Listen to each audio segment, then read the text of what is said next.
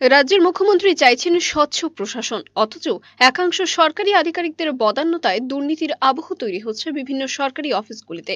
দাবি উঠছে সঠিক তদন্তের মাধ্যমে প্রকৃত দোষীদের বের করে শাস্তির ব্যবস্থা করা হোক। নামে বেনামে গাড়ি, বিল করে টাকা আত্মসাত করার পর এবার রাজ্যের মুখ্যমন্ত্রীর ফুড প্যাকেটের টাকা আত্মসাৎ করার অভিযোগ উঠে এলো। এবার তেলিয়ামুড়া মহকুমা শাসকের অফিস কার্যালয়ের এসডিডব্লিউর শাখা থেকে। ঘটনা চাউর হতেই মহকুমা শাসক মোহাম্মদ সাজ্জাদ পি নির্দেশ দেন তদন্তের। কিন্তু তদন্তের কমিটি নিয়ে প্রশ্ন উঠছে সর্বত্র।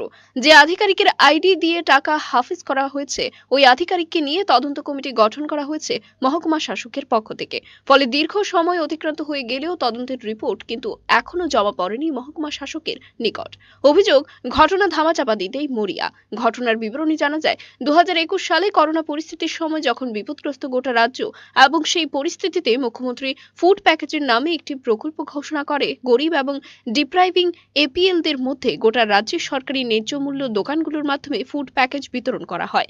ওই সময় তেলিয়ামুড়া বাজারের অমিতাভ সাহা নামে জনক ব্যবসায়ীর কাছ থেকে এক লক্ষ বত্রিশ হাজার পঞ্চান্ন টাকার কিছু জিনিসপত্র ক্রয় করেছিল মহকুমা শাসকের যথারীতি ওই ব্যবসায়ী বিলও জমা দেন। দীর্ঘদিন ধরে উনি উনার বিল না পাওয়ার কারণে মহকুমা শাসকের অফিসে গিয়ে যোগাযোগ করলে তিনি জানতে পারেন বিল পেমেন্ট হয়ে গেছে। কিন্তু ওনাকে জানানো হয় যে উনি বিল পেয়ে যাবেন। আজ পর্যন্ত সে বিল পায়নি ওই ব্যবসায়ী। জানা যায় দায়িত্বে রয়েছেন ডিসিএম দেবপ্রিয়া দাস। ওই দপ্তরের জনক কর্মী ওয়েলফেয়ার অফিসার কম্পিউটার থেকে বেনিফিশিয়ারির আইডি বানিয়ে নিজের এক আত্মীয়র অ্যাকাউন্টে ওই টাকা দিয়ে দেয়।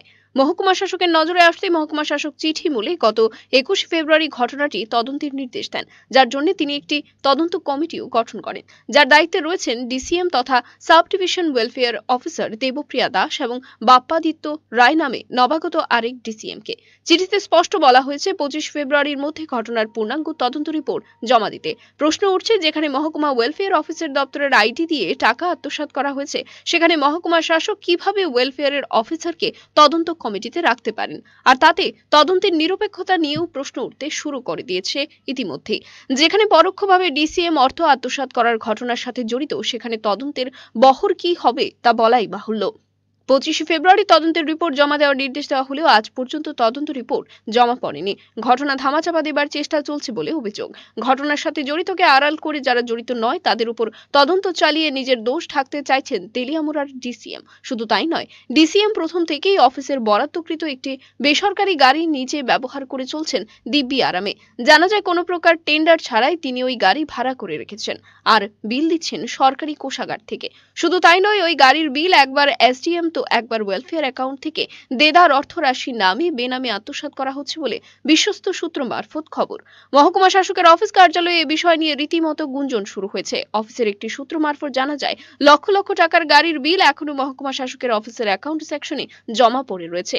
একটিমাত্র গাড়ির এত বিশাল পরিমাণ বিল জমে আছে যা নির্বাচনের সময় এক মাস গাড়ি চালিয়েও হয় না। জানা গেছে, এর পেছনের দপ্তরের এক প্রাক্তন কর্মী জড়িত বলে অভিযোগ। আমবাসায় বদলি হয়ে যাবার পরও তেলিয়ামরা অফিসের তারা এখনও গুটির চাল চালিয়ে যাচ্ছে। তবে দাবি উঠছে মুখ্যমন্ত্রী ফুড প্যাকেজের অর্থ আত্মসাতের ঘটনার নিরপেক্ষ তদন্তের। এখন দেখার বিষয় সংবাদ প্রকাশের পর কবে নাগাদ ঘুম ভাঙে তেলিয়ামরা মহকুমা শাসকের। Bureau report, search India, TNN.